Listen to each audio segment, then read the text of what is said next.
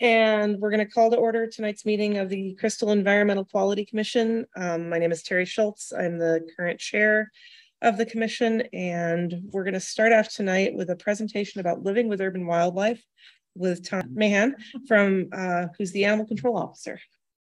Okay, well, thank you very much for inviting me. Um, something that's always been a big interest of me is wildlife. Um, so I am the animal control officer for New Hope in Crystal. I've been in the job for 23 and a half years now. Um, the position goes back way to the early 70s, this joint New Hope Crystal um, thing, and it's worked out pretty well for both cities. So I split my time patrolling and, and going on calls for service to both cities, uh, primarily animal related calls. Um, so um, I've been working with animals for probably about 45 years now. I've got my degrees in biology and and also wildlife has always been my life essentially um, all the way till now. Let's hope this and it's not working. Stand by right now. Have to reset. There we go. All right. So um, it's a pretty well developed uh, older city. We actually have a very diverse uh, array of animals that live in our city. Um, before our cities were here, there was a good diversity with even more animals. Um, and then we converted that land to our needs, to farmland and to cities. Um, and once the city aged and the vegetation cover aged and got bigger, the trees grew up, we put in more shrubs, those kinds of things. Um, a lot of the animals started to come back. A lot of the animals also responded to things that we throw out in our yards, our garbage. Uh, we create homes for them in our backyards. So, um, but we do have a pretty good array of animals that live here. Um, I thought I'd start out by running through, uh, especially the mammals. Um, a lot of the calls that I go on, uh, people don't understand what they actually have in their yard, uh, the species, and sometimes they're misidentified. And what to do with those, uh, the issues that are going on are very species specific. So I thought I'd run through a few things. One of the most popular ones for some people are the raccoons.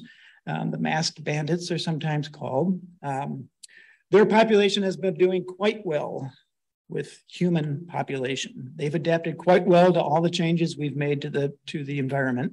Um, they are generalists. They'll eat anything they can get a hold of.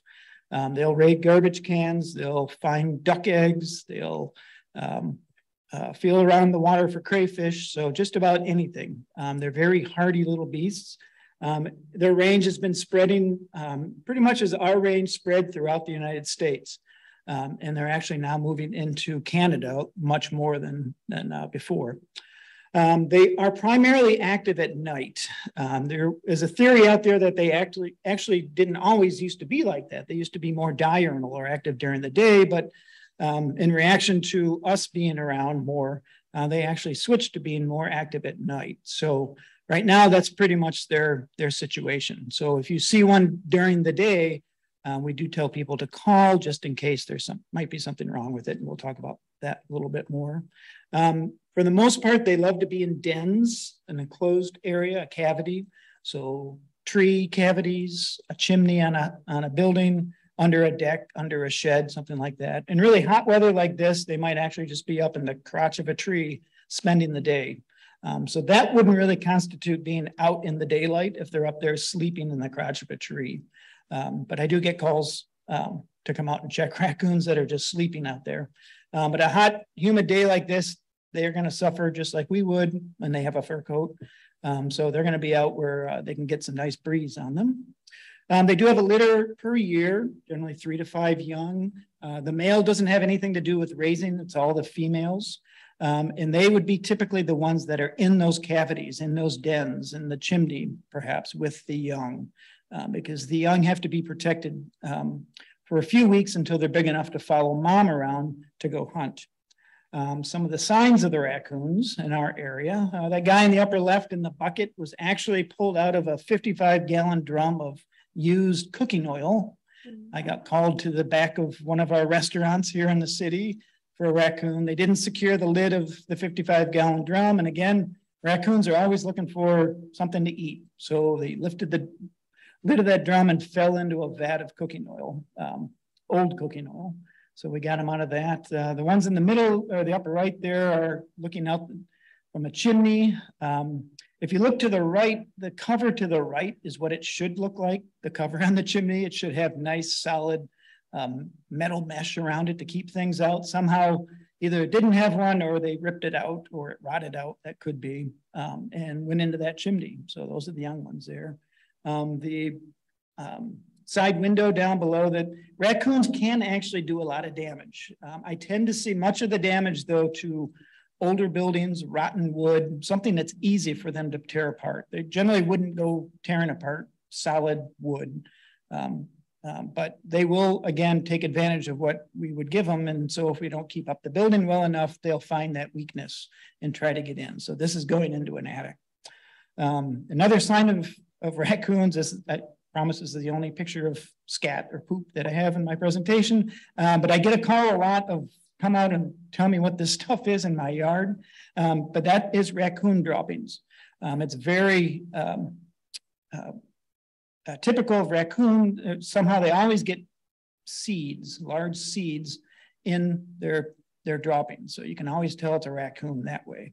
Whereas something like a fox that might have the same size would have. I bet that was me would have um, bones and fur of the animal, the predator or the prey that they've eaten. So um, one thing raccoons do is they mark their territories with their droppings. It's something that's called a latrine. So at the base of a tree, on a rooftop, uh, on the um, area right around the house, they'll put a lot of droppings in one place to mark their territory.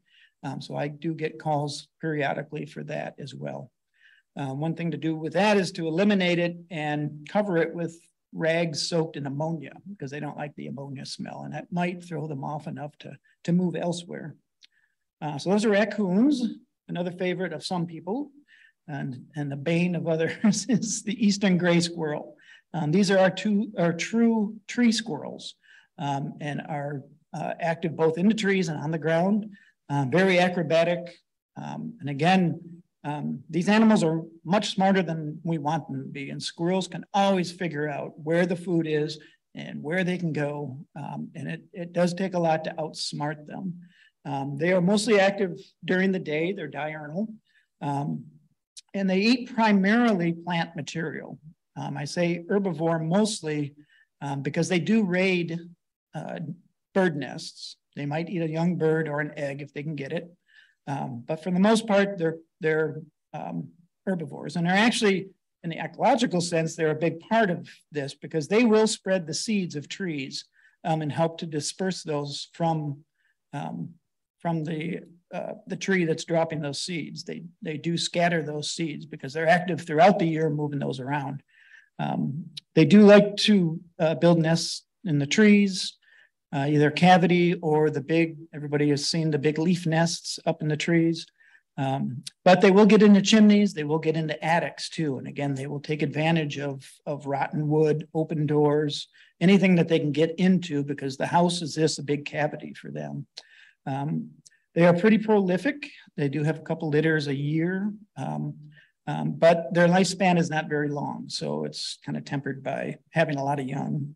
Um, some of the signs of, of the squirrel are that big leaf nest, either way out in the end of the branches or in the crotch of the tree.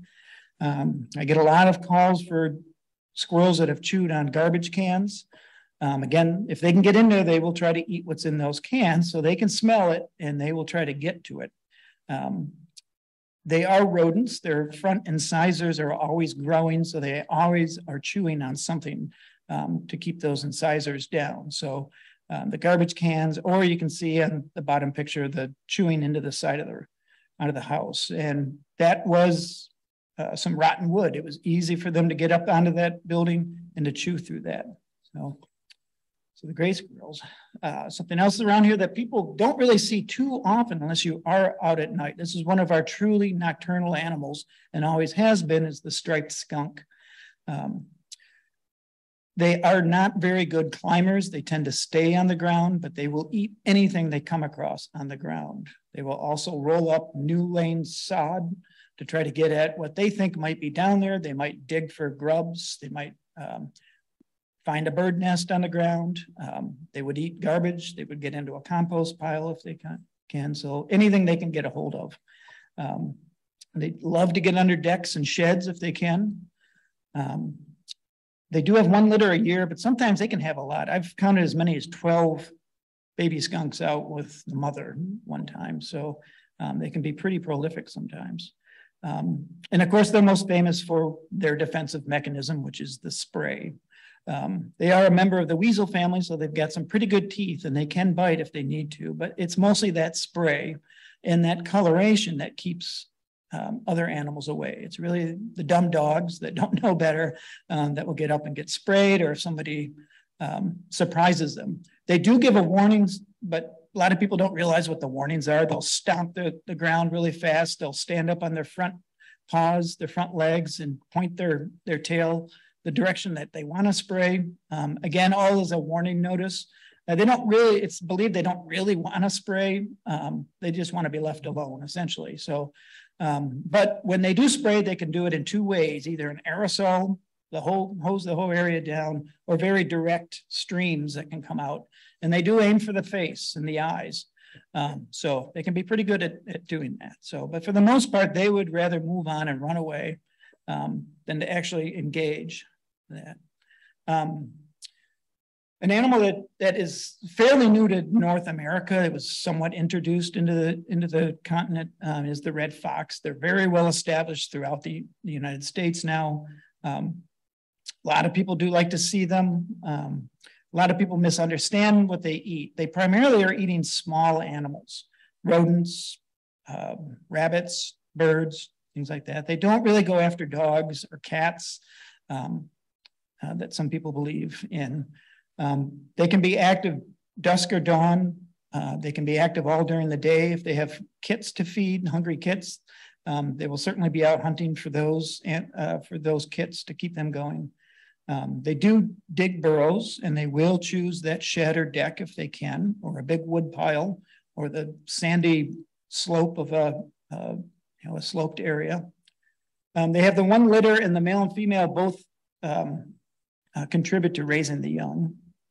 Um, when they're active at night and interacting with other fox, they can emit some pretty loud screams. If you go on the web and look up red fox screams or cries, um, it's pretty eerie. And a lot of people will call me and say, I heard this animal suffering. And if they recorded it, they'll play it. And I said, no, it's just a red fox making noise.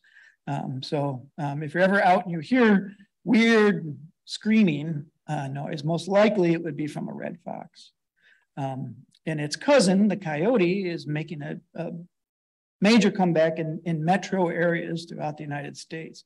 Um, the coyote was persecuted for decades, even by the federal government, um, because it was feared they were eating livestock. Um, they will prey on livestock. Again, they are generalists, they're opportunistic, um, but they primarily are eating small animals as well. And they'll actually eat a lot of plant material too.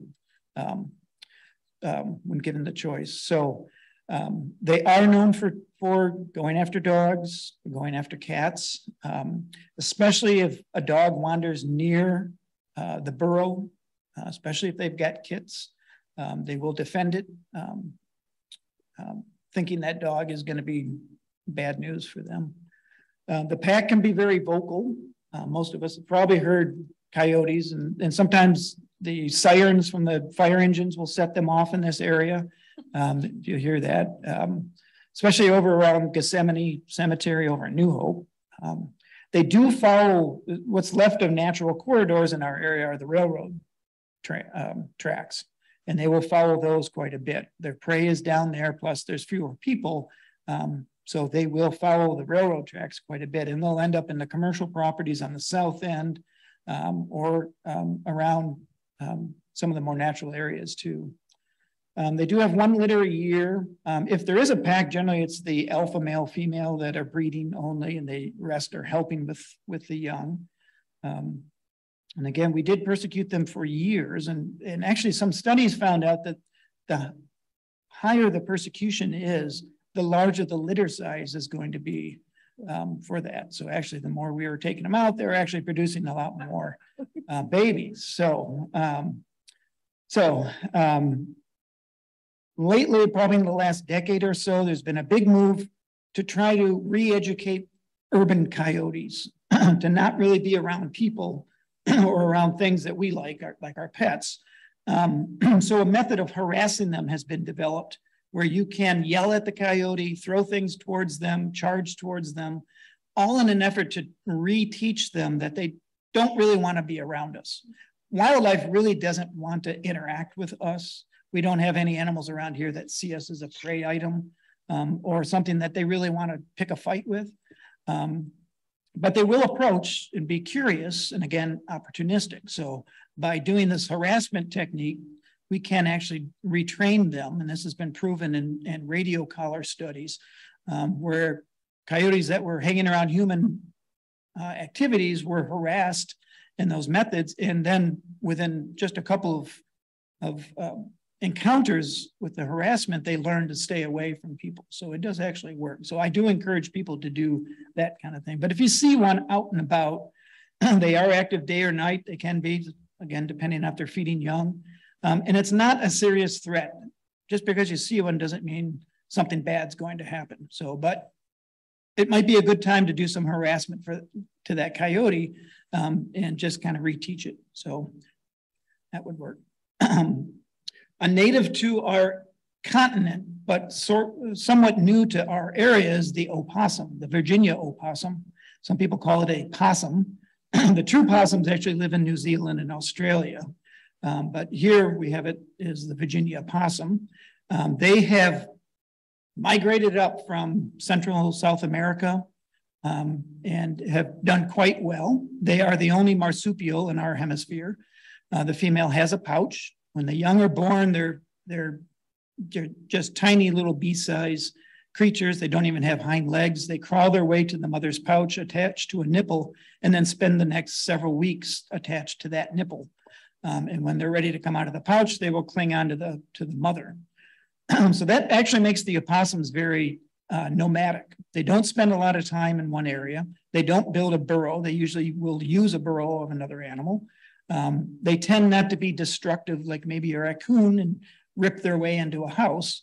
Um, um, but they can move around very well. Um, they do have opposable thumbs, much like ours, so they can grasp things very well. They have a what's called a prehensile tail um, that they can um, help to balance in the trees. And they, I've actually seen some carrying leaves that way when they're actually creating a little nest in a burrow. They'll bring leaves into it by wrapping them up in their tail. Um, a lot of people don't like to look at them. They think they're ugly. They think they look like big rats.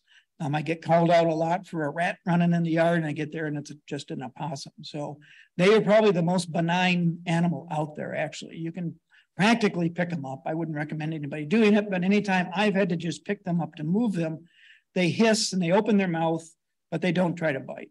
They actually have the most teeth of any North American mammal too. So if they were to bite, they could bite pretty badly, but I've never had one actually bite me. so um, thank you very much. Losing my voice here. Um, since they came up from the south and they do have a lot of bare skin, they do suffer from frostbite a lot in our winters. They somehow make it through our winters though. Um, but we do see a lot um, that do have missing ears, missing toes, missing parts of their tail.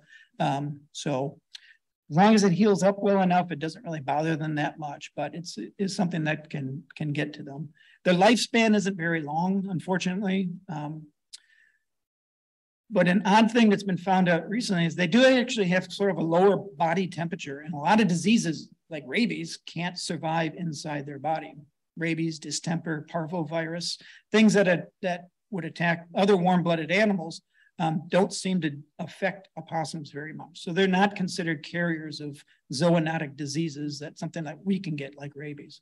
Um, so I think they're great animals. I love opossums. Um, so they're pretty neat to have around, but a lot of people who grew up in Minnesota never saw them before. And I started seeing them and getting calls about them about probably close to 20 years ago now. So when they started showing up, so they're pretty, pretty well established now. And they eat ticks, right? They eat a lot of bugs. They are believed to to eat a lot of ticks. Yes. Yeah. They'll eat just about anything they can get a hold of. But yes, they are known for eating ticks. Yep. Yeah. Um, the woodchuck or groundhog is one of our, our true um, ground squirrels. It's related to the marmot you would find in higher elevations out west. Um, these are tough little animals. They are sturdy little things. They dig burrows. Uh, they dig uh, a labyrinth underground uh, with all kinds of entrances and different chambers um, to live in. They are true hibernators. They go into uh, torpor uh, hibernation during the winter, where their body temperature actually lowers and their heart rate slows. And um, they will spend the winter underground. Um, they love to dig it under decks and sheds if they can do it, or under a wood pile. Um, they are plant eaters. Uh, they are exclusively herbivores. Um, a lot of people don't like them because they do get into, if they get into a garden, they will eat a lot of things in the garden. So um, we'll talk about keeping them out. Um, they do have a, um, a, young, uh, a litter of four to six um, once a year. Some of the signs of a woodchuck being in your yard are digging. Um, anything that digs next to our buildings generally dig right at the edge of it. They'll start where the ground is soft or has been disturbed at one point, um, and then they'll go right underneath it and under the deck, under the under the cement slab, something like that. So good signs to look for if you suddenly find a hole um, in in right along your your deck or shed. Generally, it would be started by a woodchuck, maybe a rabbit, uh, which we'll get to in a minute, and then other things might go in and follow those in. Um, so the, the skunk or the fox. Um, so look for those kinds of things in your yard. Uh, the only rabbit in our area is the eastern cottontail. If you go further north, we have the snowshoe hare. If you go further west, there's the jackrabbit. The eastern cottontail is, is our rabbit here. Um, again, it's a raider of gardens. It's an herbivore, um, so a lot of people don't like it for that reason. Um, they are active mostly dawn and dusk. Uh, during the heat of the midday, they will lie out in the shade. Um, they will also go under the decks and the sheds. Sometimes they're the, just like a woodchuck, they're the first to make that hole underneath. Um, they are pretty prolific. They do breed like rabbits, um, but they have a very high mortality. Most of those young rabbits don't make it to their first age. If they do make it to one year old, they generally don't make it two or three years. Um, so uh, they are a prey species. Uh, so a lot of predators do go after them. So just to clarify there, so most rabbits are like two or younger that you'd see. Generally, yeah, yeah. Mm -hmm. Um, I put that quote in there, those bunnies are not abandoned. One big thing about uh, the rabbits is the doe, the mother will leave the bunnies, the young rabbits in the nest during the day and not go to the nest. It's a way to avoid attracting predators to that nest. She will make a scrape, sometimes right in the middle of the of a mowed lawn, uh, a scrape down into the ground. She'll line it with a lot of her fur. The, the bunnies will be in there. So someone will go out to work in their yard during the day. There's a bunch of bunnies, no mother. They automatically think they're abandoned. They'll call. Um, so many times during the year, I have to answer this, uh, that they aren't abandoned. Leave them alone. The, the doe is nearby. She'll come back after dark and deal with them. If she doesn't like that the nest was disturbed, most likely she will move them. Um, but if you just wait, um, they will be gone pretty soon. The, the, young rabbits, the bunnies actually leave the nest very, when they're still very tiny. If their ears are upright, they've essentially gotten to the age where they can leave the nest. Again, it's a way to avoid predators. The faster you get out of the nest, the more chance you're going to survive. So, so uh, leave them alone unless they've been injured. They've been hit by the lawnmower, the dog got them, or something like that. Um, uh, just leave the nest alone, pack them back in, and the doe will come back at night and, and move them. They do a lot of damage. Um, they're herbivores again during summer months. There's lots of plant material. During the winter, though, uh, there's a lot of dried material that they might eat, but they also will chew on the bark of shrubs and small trees too. So they can do a lot of damage. This is typical rabbit chewing here in this picture. Um, if it's all the way around, they could girdle the, the, the uh, tree and kill it. Um, so wrapping those uh, sensitive plants in the fall goes a long way to keeping uh, the rabbits from chewing on it. Something else that chews on a lot of our plants are the white-tailed deer. Um, here's another big success story. How are they even living in our cities? Um, it's amazing that they can. We've one thing we've taken away their predators, um, the cougar especially, or the black bear. Um, there's not really much else that's going to hunt a deer here. Um, but uh, they find plenty of food, uh, lots of cultivated plants. They actually love cultivated plants probably more than the native plants. Some native plants might have some toxins in them that they don't like, um, and they avoid those and go after the cultivated. So um, one way to, to deal with them is again fencing, keeping them away from from uh, the plants that are really sensitive. Um, so it's the buck on the left with the big antlers and the doe on the right. Um, and then the fawn is the little inset picture. Uh, we do periodically get calls for that abandoned fawn. Again, just like the bunnies, the doe deer will leave the fawn in place and go off and feed and not uh, bring the fawn around with her while she's eating. So somebody is out and about and stumbles upon a fawn laying like this in the grass, and it could be right in the middle of the yard. Um, sometimes it's in, in, a little more sheltered space, but I have been called out and there was a fawn curled up right in the backyard, right in the middle of the yard.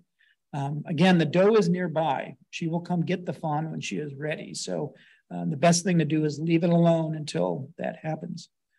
Um, they will have uh, one to three young. Twins aren't um, that uncommon in our area. There's plenty of food for the doe. Um, and so she can support twins pretty well. Um, they're active uh, most likely uh, dawn and dusk there. You will find their beds sometimes in wooded areas in the winter. You'll see these oval depressions in the snow, um, and that's where they've been sleeping down in the in the snow.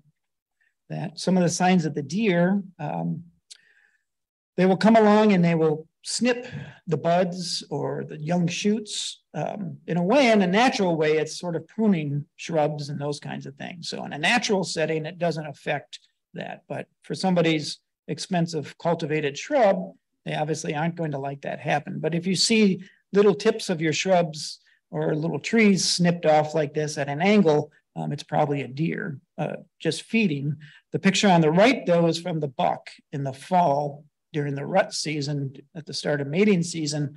Um, he begins to rub things to mark his territory, to rub the skin or the velvet off of his bony antlers. Um, and he can actually shred trees that way. Um, they can again girdle the tree and kill the tree. Um, I have been called out on signs like this where somebody thought they had a cougar scratching the tree. Um, if a cat scratches something like a cougar, they'll only scratch downward. Um, if you can see in this picture, they're shredding the top and the bottom of that of that marked area. So that's from the buck rubbing his antlers up and down. Um, and there's lots of little bony protrusions on those antlers that are ripping into the bark. So that's a way to tell you've got a buck out there. Um, in my yard, I actually in the fall put up lots of fencing around the shrubs. I don't want the buck uh, to destroy during the rut. Um, so, um, and it does keep them away. I learned it the hard way. Suddenly went out because it can happen in one night. And um, after that, I started putting up fencing to keep them out. Um, the smallest of our mammals here are the bats. Um, again, another very much maligned animal. Um, a lot of people don't like bats. Um, they think they're all evil and that they're all going out to bite us. And again, wildlife is not around here is not out to bite us. They don't want to be around us. They will try to get away from us. Um, we have nine species of bats. Most likely, people are only really going to encounter the little brown bat or the big brown bat. Um, those are the most likely to hang out around our things. In the evenings, like a warm evening like this, just around dusk, you can look up against the lighter sky and you can see the bats flying around. All nine of our species of bats are insect eaters, insectivorous, um, and they will eat lots of insects, um, including mosquitoes. So um, it is a good check on uh, maybe an overpopulation of certain insects. Um, they are those suffering because insect populations on the whole are down throughout the world, really. Um, so uh, bats that are only eating insects are, are beginning to suffer because of that too. Um, but we still say that they, especially in certain areas, are very good at controlling something we don't like, which are the mosquitoes. Um, they invest in one young per year. They put a lot of effort into the one young. Um, it will stay with the mother for months, riding on her until it can learn to fly. Um, they cannot find food in the winter, so they either migrate out of here or hibernate. The brown bats, especially, will hibernate.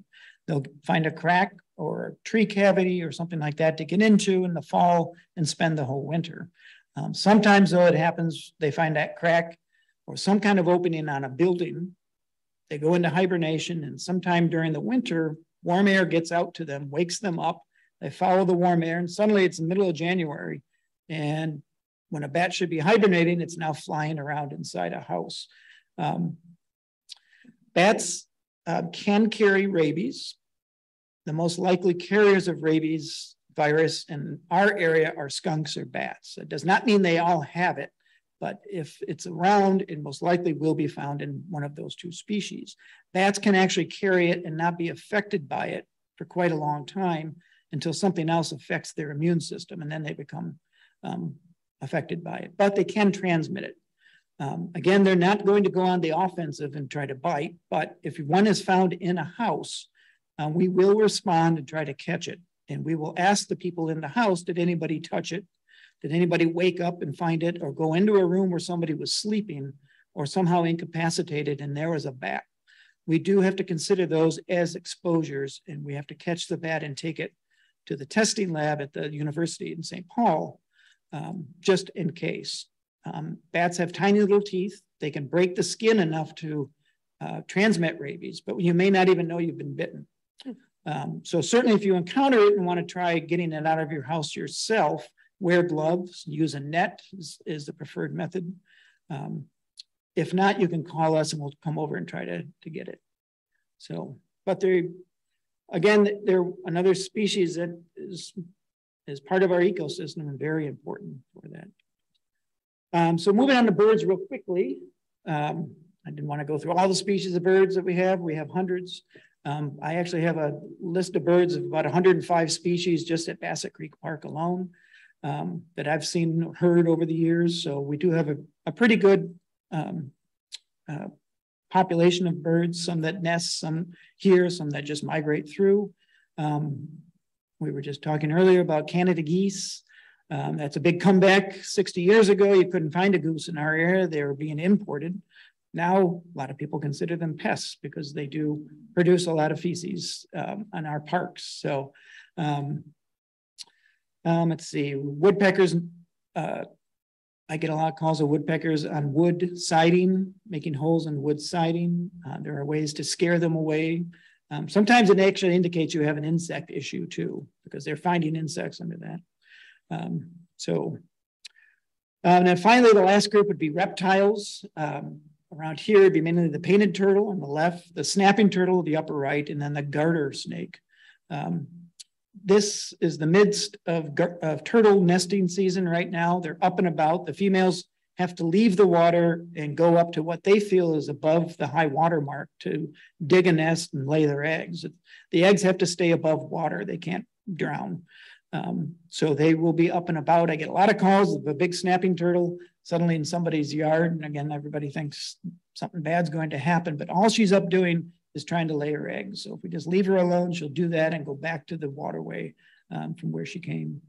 Um, garter snakes, we do still occasionally see them around. Uh, a lot of our development has, has um, um taken away their habitat, but they do occasionally pop up. I have had a couple of calls over the years where they've gotten into a house. Generally, that would indicate you have some big cracks in your foundation because they're coming down from, from underground um, and coming into your house that way. So, but that would be our most common snake around here, would be the garter snake. So those are all um, the animals around here. So what do we do when we encounter these things? Um, when I get a call, sometimes people are just frantic. Um, they see something or they've heard something or something's in their house. Um, the first thing I try to do is calm them down. The animal doesn't really want to engage us. It wants to get away from us. So um, I'll try to find out what kind of species it is and find out what it's doing. Um, I'll go out to the property and, and give them some advice on what to do. I will try to, to educate them on, on what the animals are looking for. And their main thing are basics, food and shelter. They want to eat everything they can. They want to uh, nest or burrow into a safe place. They want a nice, safe place for their young. Um, so keeping them from those things are the, really the best long-term solution. And the best thing you could do if you put up a deck or a shed is to put up some kind of exclusion fencing. Um, that is a wire, heavy gauge wire mesh, upright, covering the space, and then buried in the ground. And you can see the part that's flat on the ground will be buried back over. Again, animals that dig tend to dig right up against something. So right at the base of that shattered deck. If they dig down and they encounter this wire mesh flat on the ground, they're not going to be able to dig through it. They'll move on. They won't want to do it. They don't know there's an outer edge to it as long as it stays buried. Um, if you don't like the look of it, then you can cover it over with the wood trellis. But a lot of people just go for the wood trellis first, and that's easily breached. A, ra a rabbit can chew through the wood trellis within moments and get in under the deck. Um, so um, there's a little bit of wood trellis on the left side of that. You can actually then put that over what you might consider as the ugly uh, exclusion fencing. Um, and what I mean by the best kind of stuff is hardware cloth on the left or chicken wire. Most people know what chicken wire is. Um, it, it, the cheaper stuff comes in the one inch mesh size. There's smaller mesh size, heavier gauge, or there's hardware cloth, which is heavier gauge and, and a quarter mesh. Uh, if you put hardware cloth up and, and seal all the edges, you'll actually keep out chipmunks and mice as well too. So chicken wire is great for the big stuff. Hardware cloth will cover everything else. So um, look for that at the at any of the hardware stores and put that in. Um, and then next are food sources, all kinds of things. Again, these animals are looking for anything they can. So compost, uh, bird feeders, garbage day. You can see the crows actually have learned what garbage day is. Um, but uh, raccoons will also get into those cans. The upper right picture is actually going out and feeding wildlife. Um, and I noticed over by the unique thrift store that there was always a flock of ring-billed gulls hanging out in the parking lot. And I always wondered why. It's kind of a big open space. They like those kinds of places. And then I started noticing this pile of stuff that somebody was leaving and the, the gulls were eating it. And I realized it was cooked rice. So that pile of white right there is a whole Tupperware container of white rice that hmm. was cooked. And somebody, I actually found the, caught, I waited and caught them doing it. They uh, drove up and just dumped the rice on the ground and drove away. You know, they like to watch, they wanted to feed the gulls. Um, and I just explained to them it probably isn't the best thing to make them congregate in a parking lot where they're going to get hit um, or cause other trouble. Um, um, so I just asked them maybe we shouldn't do that in this parking lot here. So, um, but all kinds of things uh, can be food sources for, for these animals. Uh, some other tips real quick, uh, something in the chimney. Um, if the damper is closed in the chimney, that animal is not going to do damage in the chimney. So there's not any big rush to get them out. The big thing is don't start a fire. Everybody thinks I'll just smoke them out of there. Uh, what might actually happen is you kill them uh, because of the smoke. And now you've got to deal with their body in there. The best thing to do, they like it because it's dark and quiet. So change that. Put lights in the fireplace, put a radio tuned to a talk station as loud as you can stand and listen to talk station. Um, and as long as that animal can go back up the chimney like a raccoon can, or maybe a squirrel, then they will go out. The mom raccoon will take the young because she doesn't like it in there anymore and go elsewhere. If it's something that can't go back up like a bird, and I've pulled lots of species of birds out of chimneys, um, I can come over and try to figure out what it is. I will reach up and try to grab it if I think it's not going to bite me. Um, so um, but for the most part, uh, try the radio and talk station first uh, and see how that does. Um, they're getting up on the into the chimney because they can get on the roof. They can climb a tree that's right next to the house. So trim those back um, so they can't get up on your roof. Even if they can't get into the chimney, they'll still go on the roof to look around. It's still a neat place to go explore. Um, they're always looking for opportunities. Um, if you do put out bird feeders, put up baffles that the squirrels can't and the raccoons can't climb up and keep the feeders six feet away from anything they can jump from because they're excellent jumpers. And then finally use humane scare tactics. You can just chase them. You can throw things towards them. There are balloons. There's mylar tape you can hang. There's, uh, you know, there uh, there's a um, something you can put on your your garden hose that's motion activated that will suddenly start shooting water at them. Um, so all these things tend to work. Um, this was taken from a book uh, published by the Humane Society of the United States. It's a great all over uh, illustration of someone's house and what you can do around it. So caps on the chimney and the vents, Um, there's mylar tape at the eaves to keep woodpeckers away. There's cover over your window wells. I pull a lot of things out of egress windows, so keep those covered. Um, um, make it so you can still get out in an emergency. That's what the egress window is for, but so things can't fall down. Um, get that, uh, the L-shaped exclusion fencing up around the deck, put up fencing around your, your gardens. Um, so lots of things you could do around the house and it doesn't take that long. It's the long-term solution. Um, what a lot of people like to do is trap them. They see an issue, they think, well, the best thing I can do is trap this animal out of here. Um, and there are very the various reasons why trapping should a not be the first thing to go to, and b not be the thing to go to at all. Trapping is only suitable if it's in your house and you can't get it out any other way. You can trap it in the house and let it go outside after you fix the hole that it got in. Um, so for humane reasons, if you consider you're just grabbed, you're caught in a trap and you're suddenly dumped somewhere you've never been before. You don't know where there's food, you don't know where there's shelter, you suddenly have to fight the residents to get to those resources. You're probably going to try to leave. Um, so if you just trap an animal and dump it somewhere, most likely that animal's going to die. Um, either it won't find the resources it needs or it'll try to leave and it'll get hit by a car. Um, so uh, trapping is, is not good. It also is illegal to go to just any old property and, and dump that trapped animal. And that includes a government property like a park, wildlife management area, wildlife refuge, um, anything like that. So it doesn't really get to the root of the issue is that they had an access, they had access to something, food or shelter. So if you just remove this individual and don't do anything what, about what it was doing, another one's going to take advantage of that. So I always say go right to the root of the issue, put up that exclusion fencing, remove that food source, and that will be solving the uh, the issue long term and get those animals out of there. So, uh, sorry, went over a little bit. Um, yeah, they don't always do what we want. They don't follow the crosswalk when we want them to. They they they have their own lives to live. I think we do need to be a little more tolerant of them because they are here to stay and they do um, um, deserve to exist. We put up so many barriers for these animals with our things, our curb and gutters and our storm sewers, our reflective windows that birds will fly into that um, I think it's important that we help them as best we can. Um, but you can certainly do things. Uh, if you don't want them in your yard, there are plenty of things you can do to keep them out. So I'm willing to come out to a property um, and look around, tell you what things you can do if you'd like.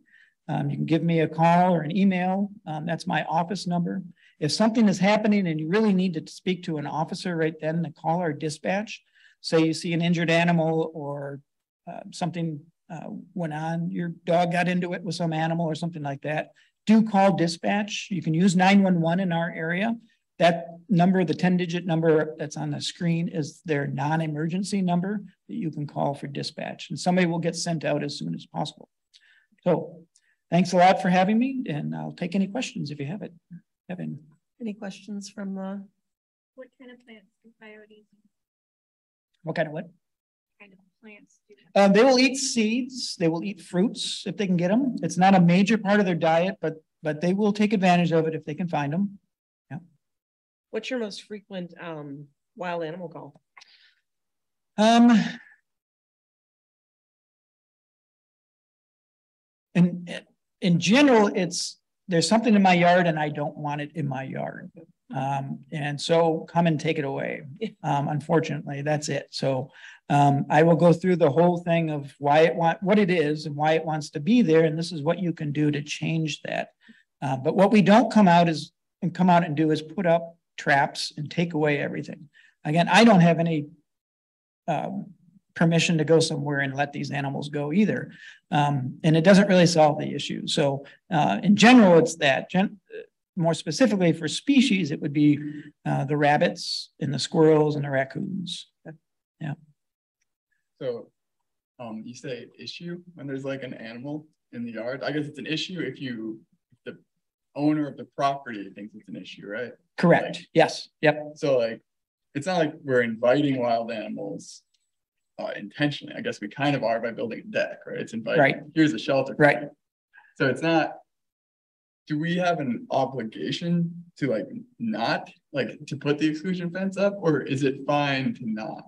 Like, in terms of, I mean, if you don't mind having rabbits under your deck. Yeah, if you don't mind the animals being there, don't, okay, don't change anything like that. There's no law that says we have to put up exclusion fencing. Right, right, essentially. right. And I can go into a yard and tell them, you know, put up this exclusion fencing, but I can look in all the neighboring yards and see decks and sheds that are wide open for the animals too. So if if the whole neighborhood doesn't like these animals being around, if everybody did the exclusion fencing, there would be fewer places for them to live. would. Yeah. Yeah, and I think it's just a, a factor that people don't understand what's happening when they do something. You know, they don't think about, a lot of people don't think about wildlife until they're actually living under the deck, you know, or they smell that skunk or something like that. So, Like if I have chipmunks, for instance, uh, living under my porch, like, are they gonna cause a problem somehow? Are they gonna make us sick or get into our house? well, if they're just under the porch, I mean, they can't get into the house except through maybe the dryer vent or a door that's left open. They, they're not going to go through the foundation and get in, but they could maybe figure out another way. I have caught plenty of chipmunks running around homes and it's always because they got in some opening that, that should have been blocked off or closed. My, my kids They got leave in. the door open and we get chipmunks. Yeah, I have a Mhm. kid. I- Yeah. Yeah, yeah. So they're digging, you know, will they Chase it out, right? I can just chase it out. You can just chase it out. Yep, and it goes right back outside. So I mean, would digging under the, under a concrete block do enough to destabilize that block? I don't know. It's probably not going to happen. A lot of people don't like the blemish of the hole next to their concrete block where, you know, the rest of the lawn is all manicured. There's a hole and they don't like that. Actually, to think about but- that more, I'd say the bigger issue would be if water got If in water got down there, yeah. next to your foundation and then potentially seeped in, that would be probably a sequence Mhm. concern. Yeah. So probably something like that. What works really well is that um, ammonia soaked rag. And I, I said it's a good way to, to throw off the raccoon latrine. Um, it's also a good uh, thing to put down a hole uh, because the fumes will bother them just like they bother us. And they won't want to be around it. And the rags are mainly to keep the ammonia from um, soaking into the soil or evaporating too fast. So you soak the rags and you put them down the hole. Looks like Walker's got a question online. You wanna? Yeah, unmute? thanks, Terry. Uh, I I was just curious, Tom, have you encountered many examples of squirrel mange or other animals with mange in the area before? Sure, yeah, the, um, the animal we see mange in the most is the red fox. Um, and sometimes it can go through a, much of the population. Um, and it can lead to, uh, well, it could lead to them looking pretty bad, but it can lead to them eventually becoming blind. Um, and at that point, they won't be able to find food, so then they begin to starve. Um, so people can call, um, and we'll try to catch them. Um, I, if I can walk right up to them and catch them in a net, excuse me, I will take them to the Wildlife Rehabilitation Center where they'll try to treat the mange um, um, if they can. So, but yes, yeah, I haven't seen squirrels with it too badly. It's mostly been in fox population. I believe it's sarcoptic mange, which is, which is a mite. Well, thank you. This has been very informative. Do we have any other questions or? Oh, Okay, All right, great. thanks for having Thank me. Thank you so much. Okay, bye-bye. Yep. Thank you. And we